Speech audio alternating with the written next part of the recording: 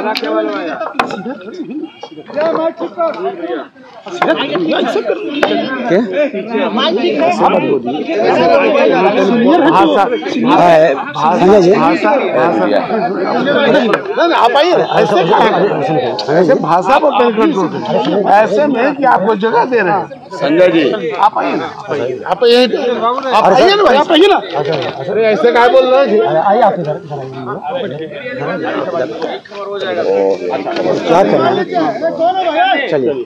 ये जो आपने अभी वीडियो देखी, ये कल की बिहार विधानसभा परिसर की वीडियो है, जब विपक्ष भाजपा जो है, उसने सदन से वॉकआउट कर दिया और उसके बाद नेता प्रतिपक्ष विजय कुमार सिन्हा पत्रकारों से बात करने पहुँचे। उसी समय फ़ोटो खिंचाने को लेकर लालगंज के विधायक संजय सिंह और भाजपा विधायक अरुण सिन्हा पर ने आपस में खड़े होने के लिए, फ़ोटो खिंचाने के लिए एक तरीके से बहसबाजी कर ली और आपको बताते चले कि ये वीडियो सोशल मीडिया पर काफ़ी वायरल भी हो रहा है। भाजपा, जहाँ लोगों के मुद्दे उठाने का काम कर रही थी, वहीं पे नेता लोग जो है वो फ़ोटो खिंचवाने के लिए बाहर में मार करते हुए दिखे। अब नेता लोग ऐसे हो चुके हैं कि ये लोग किसी के छठी में तो किसी के शादी में तो किसी के मरनी में, श्राद्ध कार्यक्रम में जा कर के वहाँ पर भी ये लोग फ़ोटो खिंचाने के लिए मात्र काम करते हैं। और आप लोग को ये भी बताते चले कि नेता, जनप्रतिनिधि, विधायक, सांसद अगर जनता अगर चुनती है तो उनको फ़ोटो खिंचाने के लिए नहीं,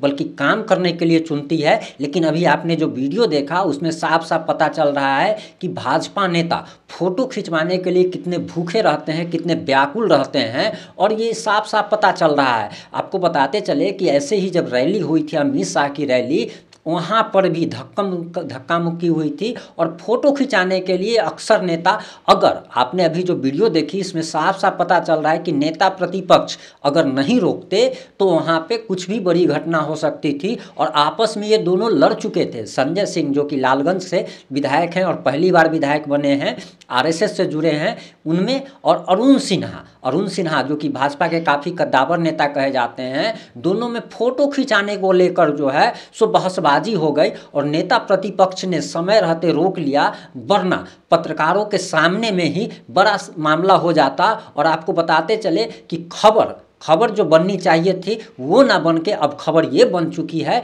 कि भाजपा नेता आपस में फ़ोटो खिंचाने के लिए किस तरीके से ये कर रहे हैं। आपको बताते चले कि कल बिहार विधानसभा में नेता प्रतिपक्ष विजय कुमार सिन्हा ने बिहार में हो रहे हत्याकांड पर सरकार पर जमकर निशाना साधा था और सरकार से सवाल किया था, जिसको देखकर जनता काफ़ी खुश हो रही थी कि आखिर भाजपा जो है विपक्ष का काम ठीक से कर रही है, लोगों के मुद्दे उठा रही है। लेकिन वहीं थोड़ी देर बाद ही जब विपक्ष ने वॉकआउट कर दिया सदन से और जब नेता प्रतिपक्ष नेताओं, भाजपा नेताओं के साथ बाहर आते हैं, भाजपा विधायकों के साथ और वहाँ पर प्रेस को जब संबोधित करने वाले होते हैं, उस समय फ़ोटो फ्रेम में आने के लिए नेता आपस में कैसे लड़ पड़ते हैं, इसकी वानगी आपने देख ली। और ये नेता जो आप इन नेताओं को जरा पहचानिए कि ये नेता जो फ़ोटो खिंचवाने के लिए मरे जा रहे थे, ये जनता के क्या मुद्दे उठाएँगे, इस पर आपकी क्या प्रतिक्रिया है, अपनी राय कमेंट में ज़रूर दें। जुड़े रहे हमारे साथ। अगर चैनल पर नए हैं तो चैनल को सब्सक्राइब करें। जय हिंद, जय भारत।